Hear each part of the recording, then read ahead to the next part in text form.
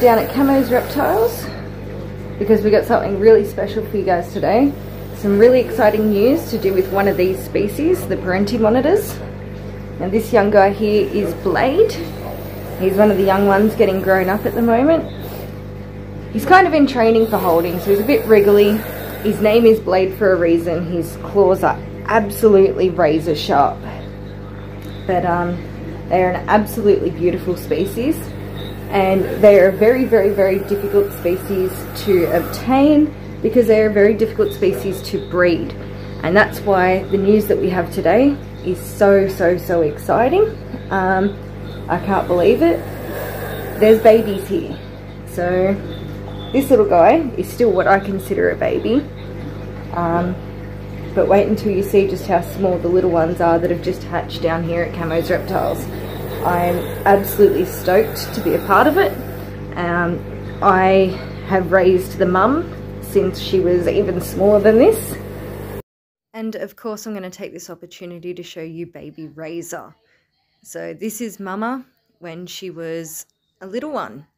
She is just so, so, so cute. Um, can't believe I got to work with her when she was this little all the way through to being big enough to have her own babies it's just been so incredible. Like there's no words for it. And it's all paid off. Um, there's kind of a funny, funny story with it as well. So the, the funny thing is that when Mama Razor was this size, Razor was actually meant to be a boy. Um, so Camo had bought Razor as a boy because we were down a boy in the breeding group here.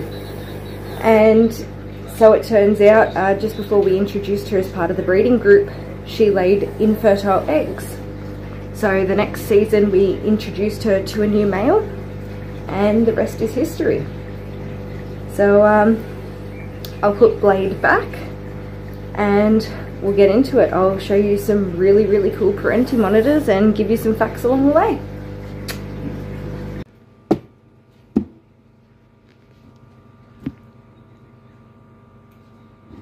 Baby. So these little perenties have been incubated for eight or nine months now. Um, very, very long time. So we do have one infertile egg here and then two empty eggs there. So here is the second baby to be emerging from an egg. Still got a lot of umbilical attached. We're not taking him out of the container just yet. You'll see that later in the video. Uh, this afternoon he'll be coming out of this container.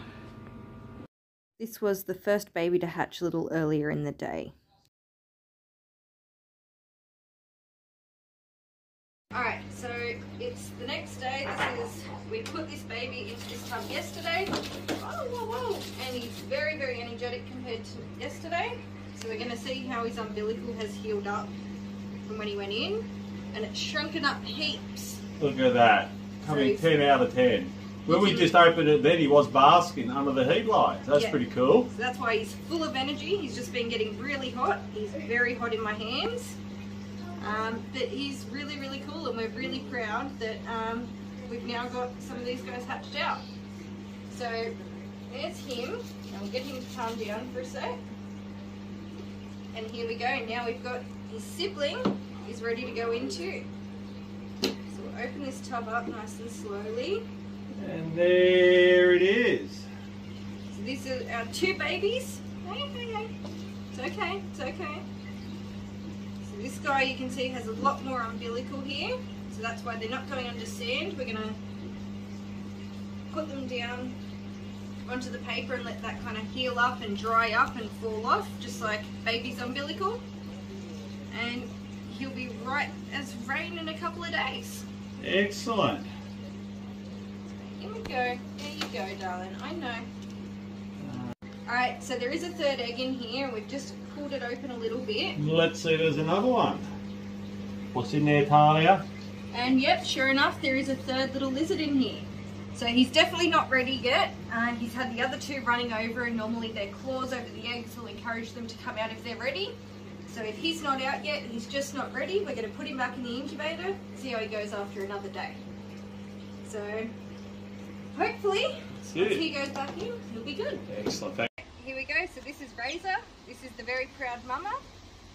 And she is awesome. We've, uh, many people would know that we've raised this girl up from very little. Not much bigger than what her babies are right now. Uh, she's been handled her whole life and she is absolutely stunning. So very, very proud for her that she is now a mum and she is just gorgeous. Can't And- wait for her babies to be this. This is the big old baby number three when he finally hatched, and baby number two with a pinky in his mouth. Hey guys, so apologies for the absolute potato quality here, but my stupid phone has uh, failed to record an outro twice now. So I'm giving up and going with the laptop. It's not the best, but please just stick with me for a sec. So the last thing you would have seen is baby number two with a pinky in its mouth and baby number three coming out of the egg. Baby number three was huge in comparison to the other ones. Um, baby number three is at least a head, oh, probably two head lengths longer than what the other two babies were. Um, now, baby number one was immediately really quick to eat on crickets. Babies two and three, no, not so much. Um, baby two is very interested in pinky mice, but just won't pick them up on his own. So for now, um, two and three, we put a mouse in their mouth, um, and then they swallow it down on their own and they eat, and it's no worries. Which is part of the fun with um, hatching out $4,000 lizards. You're not really going to play the chicken game waiting to see whether or not they starve or eat. Uh, you're just going to go straight to making sure they are getting nutrition and not take any chances. Um, I say that figure because, yes, they are. We've gotten offers of about $4,000 a baby. Um, so that's been pretty cool. Um, aside from that, I'm trying to think. I've recorded this so many times now that I'm forgetting things. I, I could tell from when I tore the egg open in that clip that baby number three was going to be huge, but it was something that I just kind of I wasn't going to say it and jinx it. Um, or the other thought I even had was maybe there was twins in there. There wasn't. It was just one really, really big baby. Um, but that was really cool to hatch out a big one. And the big one is vicious. like, I took six bites from the big one in the span of like 10 minutes. And it was one of the cutest things ever watching this, you know, decent sized lizard get really, really defensive immediately um, as soon as he hatched. But it's been pretty cool working with them, um, getting to be the person who's feeding them and stuff like that. And I'm very excited that, you know, breeding season is nearly upon us again to do it all over again. Hopefully, with modifications to the parent's enclosure, there will be a bit more success this year of not just getting eggs from the beautiful Razor, um, but also getting eggs from the other two girls as well in our entire new setup, um, entirely new egg area for them to lay. Um, lot and lot of time and effort put in by the amazing Andrew of Camo's Reptiles to set all of that up. Uh, he truly does love his animals like nothing else, um, especially the perenties. You know, he's he's probably got twenty, thirty thousand dollars invested into these perenties, and so I'm just so happy that he's been able to make his dreams come true by hatching out these babies, and it's made my dreams come true being there to witness it all. So that's been pretty cool, but um, I guess now I've been rambling for three and a half minutes at the end of the video. You're all probably tuned out by now, so I'll let you go. Um, thank you so much for watching, and I guess I'll keep you guys in the loop as time goes on with breeding them and raising them and everything else. Um, summer is approaching, there will be a lot more videos coming soon. It's just that winter sucks for reptile keepers. Uh, I was going to do reptile breeding videos, but there's only so many times I can show you snakes curled up in a ball together where you can't see anything else, and it's not that interesting. Um, so yeah, just stay tuned, I guess, and we'll see what summer brings us. Alright, see ya.